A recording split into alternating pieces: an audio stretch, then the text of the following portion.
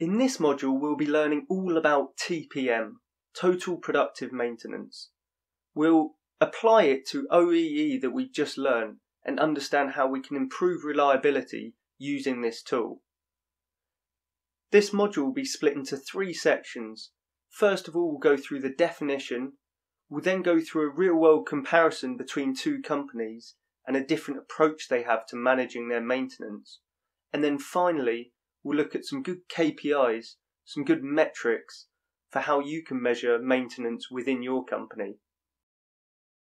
In order to explain TPM, I'll start by comparing how two different companies operate. At company A, a machine has been leaking oil for the past week and finally breaks down. The machine operator calls the maintenance team to come and repair it. The maintenance team take over two hours to arrive as they're busy firefighting other problems and breakdowns. The maintenance team arrive to find that a critical gear has broken. They search their spare parts store and look through all the shelves and boxes of replacement gears, only to find that they have a huge supply of gears from the previous machine, but none from the newer machine in the correct size. As the machine cannot work without the gear, they are desperate for a replacement so pay an extortionate price to source the part and have it delivered the next day. When the spare part arrives, the maintenance team drop what they're doing and work on replacing the gear as quickly as possible. The maintenance department are commended for the speed in which they sourced and replaced the part, and the machine is back up and running after a total of 29 hours of downtime. The maintenance team carry on with their next job, which is to try and fix another breakdown that has just occurred.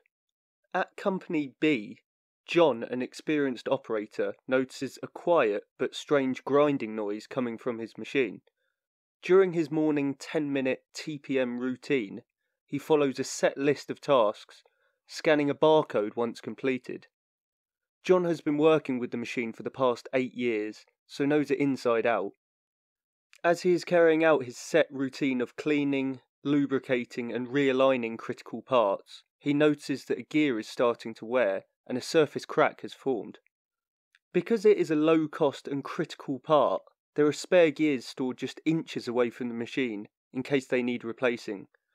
John's manager has told him to fix any problems as soon as possible before they escalate and has given him full responsibility to look after his machine.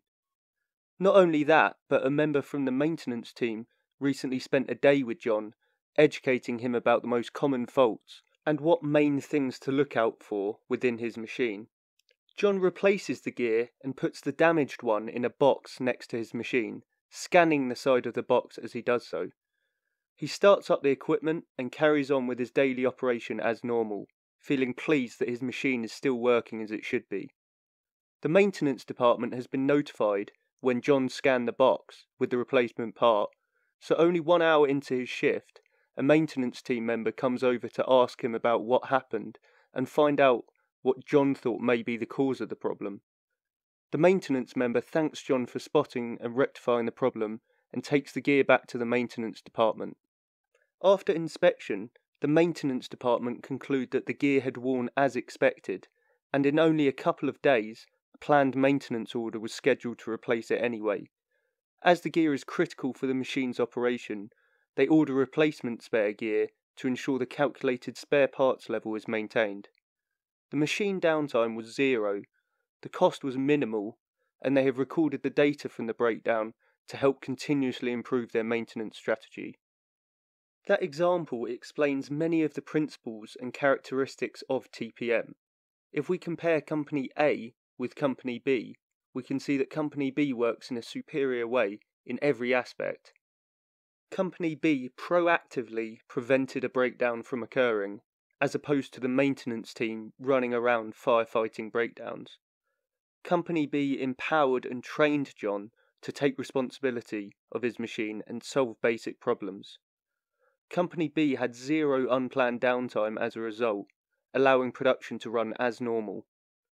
Company B didn't have to pay the premium price for an express delivery service, but not only that, because they look after their machines and clean and lubricate them daily, they break down much less and last a lot longer, saving additional costs. Throughout this module, we'll refer back to this example to help relate to the concepts of TPM in a real world situation. So before we go on, let's define TPM. TPM, Total Productive Maintenance, is a strategy used to maximize machine output by reducing downtime, speed losses, and defects, while simultaneously promoting the value of a safe, organized workplace by involving people. Remember the definition of lean to reduce waste, increase customer value, and involve people. This definition is somewhat replicated in TPM as a means to reduce the waste of waiting by involving people. If we break down the definition of TPM, it can be found within the words that make it up. Total refers to what the founder of Kaizen Institute says is the true meaning of Kaizen improving every day, everywhere, with everyone. In this case, that means with operators, maintenance, and with managers. Productive refers to making the improvements in a productive, cost effective way. And finally, maintenance refers to the aim of TPM to reduce machine downtime and optimize maintenance activities. TPM is as much a switch in mindset as it is a tool. The tool itself enables stability and machine effectiveness, but as with many lean tools, if not embraced properly, it will not have the true impact that it could have. The four main objectives can be summarized as maximizing overall equipment effectiveness, or OEE, to improve reliability, to reduce overall maintenance cost, and to develop a continuous improvement culture. If you have ever bought a new car, you'll find that for the first couple of months you clean it every weekend and are very strict about people not eating inside it. After a few months, you still look after it, but perhaps don't clean it quite as regularly. After one year, your attention to cleaning and maintaining it has faded away, and this is human nature. TPM creates the initial need to clean and maintain the equipment, but also provides the routine and structure to ensure it is sustained. TPM helps develop a collaborative, continuous improvement culture where paradigms are broken and operators change from a I operate, you fix attitude to a I take responsibility to look after my machine and ensure it is always available when needed. Notice how it isn't about keeping the machine always running, as that would promote overproduction. The machine needs to just be available to produce whenever it is required. The principle behind TPM is that by operators taking ownership of their machines and it becoming their job to keep it in good working condition, the equipment will last much longer, break down less, and problems will be fixed before they escalate. Just like in 5S, the sustain aspect of TPM is extremely important. A rather strange but effective analogy for looking at this new operator responsibility for equipment can be seen in the way that we care for a baby. In this example, please think of the baby like the equipment, a parent like an operator, and the doctor as the maintenance department. Just like how a doctor diagnoses and fixes problems with people, whether that be a broken bone or a torn ligament, maintenance members fix problems with machines, whether that be a broken gear or worn out parts. As a parent, if your baby starts to cry, your first reaction isn't to call the doctor, visit the hospital, or seek medical attention. You carry out the normal expected tasks of checking their temperature, making sure they're hydrated and comfortable. As an operator, you're expected to carry out autonomous maintenance for common faults, just like the baby crying. This may include inspecting, cleaning, or lubricating the machine. You should only go to the doctor, i.e., maintenance department, for more severe, unknown, or uncommon problems. That is exactly what TPM is training the parents how to look after their children and take accountability for their well-being. I know this is a bit of a strange example, but I think it is memorable and helps convey the change of responsibility that TPM provides. Okay, that's enough talking about crying babies. Back to the course. Just like how lean is the ongoing pursuit and journey towards 100% value add, TPM is on a sliding scale from 0% uptime towards 100% uptime and zero downtime. It is about taking steps in the right direction towards this state, continuously moving closer to it. The fact of the matter is, machines do break down, People make mistakes and things do go wrong, however much you try and prevent them from happening. The point to stress is that the first thing you need to do is minimize the amount the equipment breaks down, which is where TPM helps. And secondly, when it does break down, make sure that it's fixed as quickly, efficiently, and with the lowest cost possible. A good way of demonstrating the TPM shift is by looking at the makeup of both production and maintenance staff times and what they do. The numbers used in this example help demonstrate how the shift in mindset of TPM equates to a change in roles and responsibilities. With a traditional maintenance strategy, production operators spend roughly 35% of their time with their machine broken down. They spend 5% of their time cleaning their machine and the remaining 60% of the time in its operation. The maintenance staff spend roughly half their time firefighting and correcting problems. Think back to Company A example. 30% of their time carrying out basic maintenance tasks, such as inspection, diagnosis, and lubrication, with 20% time remaining for the proactive, preventative maintenance improvements. The trouble with this situation is that the highly skilled maintenance staff have roughly 80% of their time taking up fixing things, running between problems, and carrying out work that they're overqualified and overcapable to do. Let's now compare this to a TPM strategy Production operators spend 10% of their time conducting scheduled basic maintenance operations, just like what John was doing in the example, including inspection, lubrication, and cleaning. 5% of the time their machine is broken down, and 85% of the time it is operational. As the inspection, cleaning, and lubrication is all completed by the operators, who have been trained and take ownership of their machines, maintenance staff now spend 30% of their time reacting to unexpected corrective maintenance tasks, leaving 70% of their time free to teach operators, make reliability improvements, and proactively maintain the equipment. The point to stress with this is that the breakdowns have reduced from 35% to 5%, resulting in seven times less unexpected downtime. Although the operators are now actually spending more time on carrying out routine basic maintenance, the overall output and uptime of their machines is much higher, allowing planning to much more easily predict and plan the output for each day without sudden surprises and the need for overtime. TPM builds on a 5S culture of operator ownership and pride in their work environment.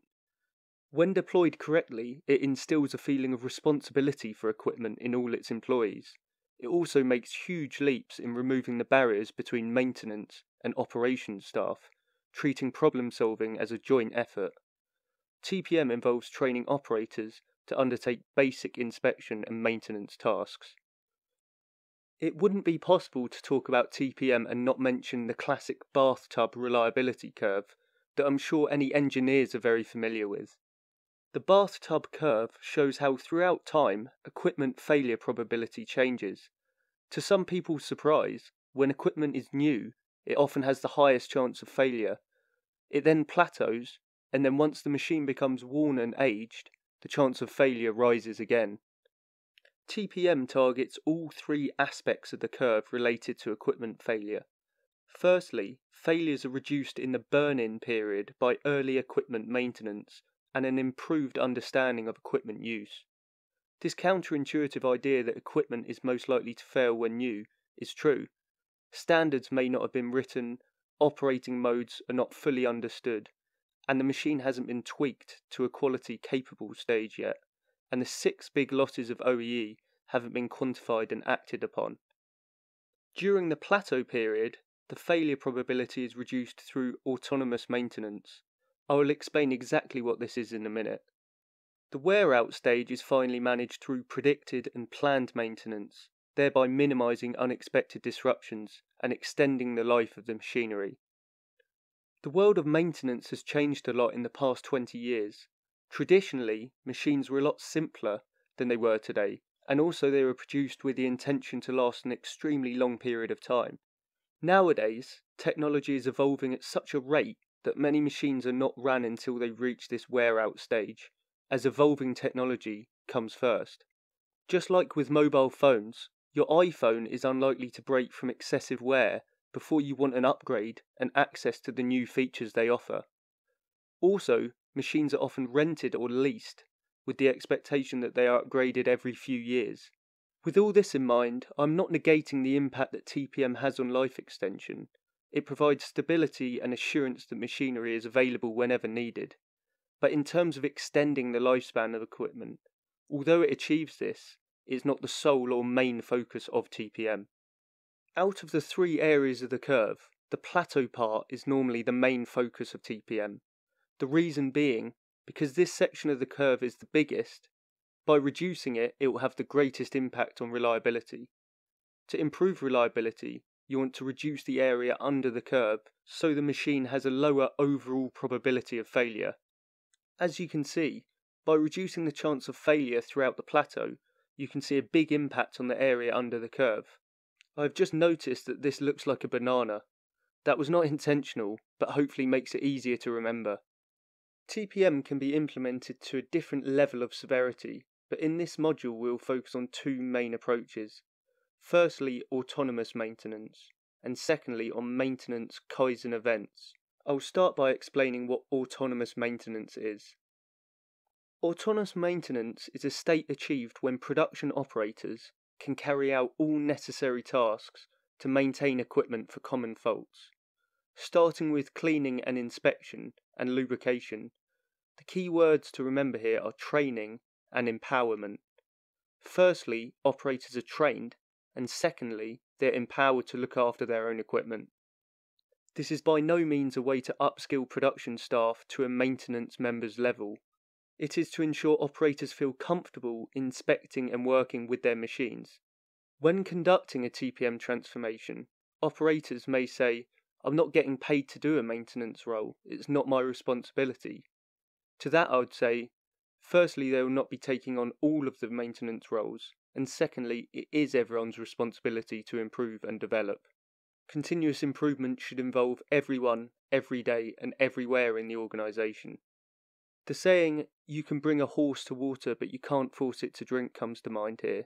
You can upskill operators and provide them with an opportunity to improve, but if they refuse, there is sometimes little you can do. Ultimately, as mentioned in the Kaizen module, a rotten apple can soon spoil the entire bunch, and you don't want rotten apples within your organisation, so to speak. Now that operators take responsibility to autonomously maintain their equipment, maintenance staff now have much more time to spend on improvement activities and preventative maintenance. And also, by working closely with operators and training them on the basics, they now have eyes and ears everywhere, spreading the load of inspection and informing the maintenance team when anything needs further attention. Where before, perhaps operators would either not be skilled in spotting problems or would not see it as their responsibility to raise any issues. This relates to the productive part of total productive maintenance. By upskilling everyone to a level where they can at least identify and report faults, resources are used in a much more effective way.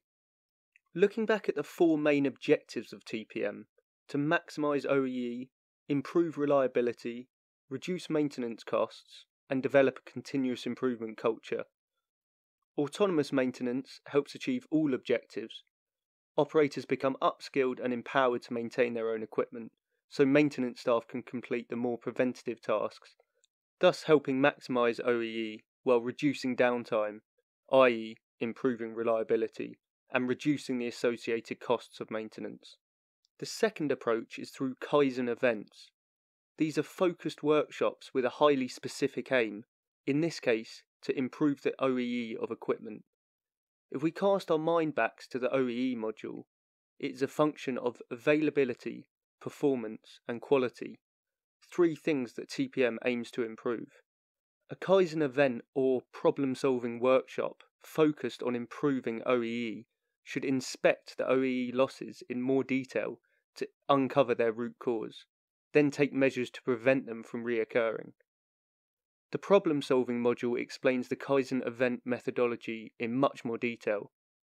And lastly, to promote continuous improvement, problems and successes need to become visible. To do this, metrics need to be measured. Remember, you can't manage what you can't control, and you can't control what you can't measure. In terms of what metrics to measure, it's up to you, but OEE or continuous improvement metrics like number of machine enhancements or improvements is a good place to start.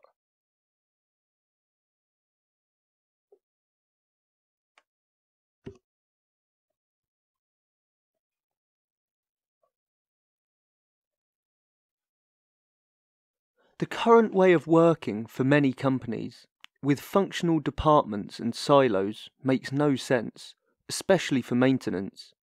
Companies typically judge maintenance staff's performance on the number of repairs or amount of work they complete each day. The more repairs they complete, the higher performing they are. This makes no sense. For a member of a maintenance team to have objectives that directly oppose organisational goals, Unreliable and unproductive equipment means poor factory performance with lots of waste and an inability to stick to a production plan.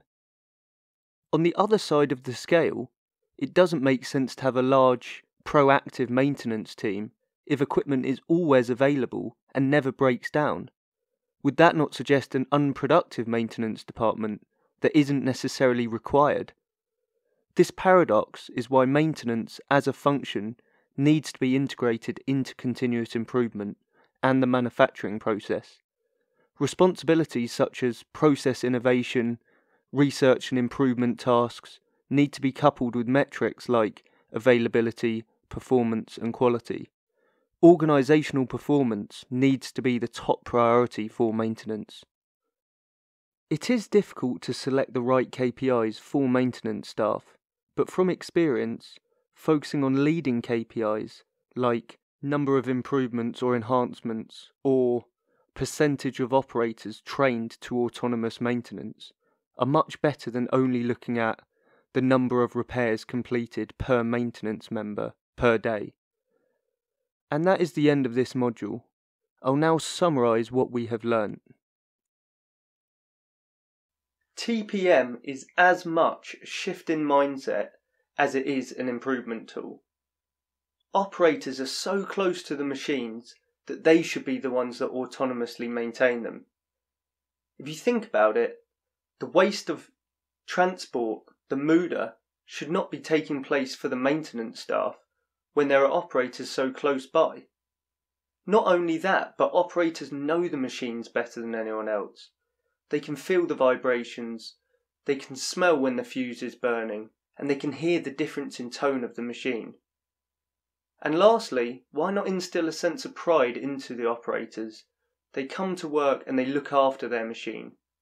Remember, culture is the sum of all the habits and paradigms, so why not create a TPM habit and instill the right qualities into your organisation? In the next module, we'll be learning about SMED, a very specialised tool that helps reduce the setup and changeover times of machines. It's a very powerful tool.